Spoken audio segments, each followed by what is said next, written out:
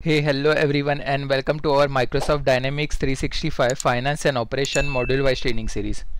So in the second episode of our inventory management module, we will discuss about the posting profile setup in our inventory management module. In this episode, we will map the main account with the related inventory account which will be used in our future episode for the inventory transactions. So let's get into the inventory management module and the posting setup. So we navigate to the inventory management module inside inventory management module under the posting we have posting tab. So inside the posting setup we have multiple tab. First is a sales order. For the sales order account setup we will discuss in our future episode when we discuss about the sales and marketing uh, module wise training series. So the next one is our purchase order. We have already discussed about the purchase order posting setup in our procurement and sourcing module. So you can watch that episode to get an idea about the account setup and how the account transaction will be happen. So the next one is our inventory. So the inventory section is very straightforward as compared to other purchase order and sales order setup.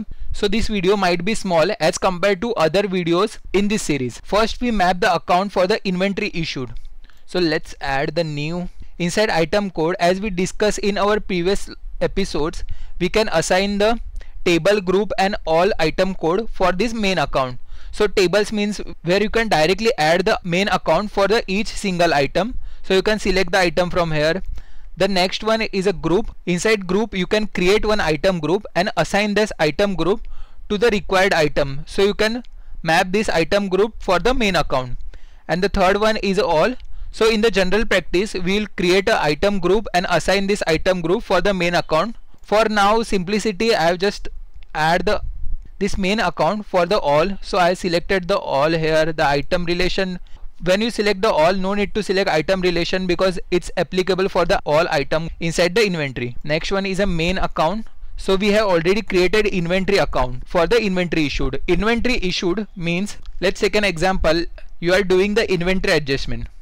That is where you are reducing the inventory stock using the inventory adjustment journal so since we are reducing the inventory stock which is actually posted in that inventory issued account. Inventory issued account is an asset account.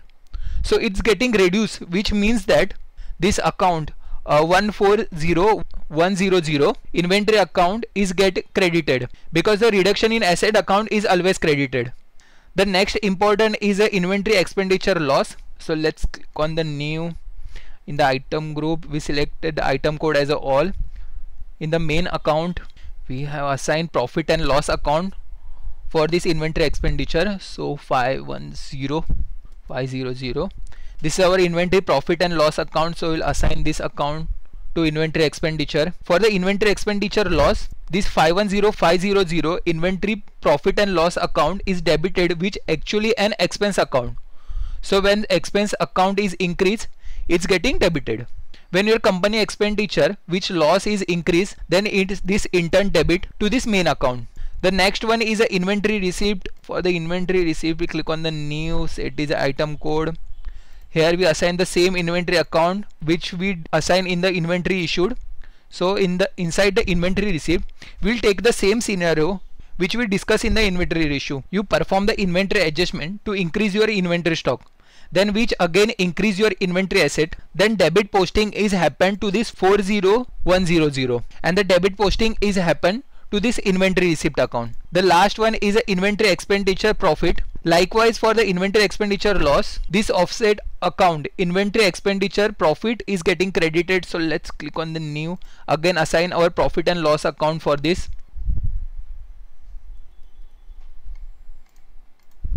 this time when inventory expenditure profit is getting credited which means that your inventory expenditure is credited so your company profit it getting increased. So these four inventory issued inventory expenditure loss inventory receipt and inventory expenditure profit will get affected during our transaction which we performing our next couple of episode. I will also demonstrate you the all the account entries so when you performing the inventory transaction so make sure you subscribe to our channel to get the latest update of our future episode on inventory management module series. We also have the inter unit payable and inter unit receivable account. We will assign this offset account when we discuss about the transfer order process. So you will get a better idea when this inter unit payable and inter unit receivable account will be hit. So that's it for this video. From the next episodes we will start for the transfer order in D365 finance and operation. So thank you for watching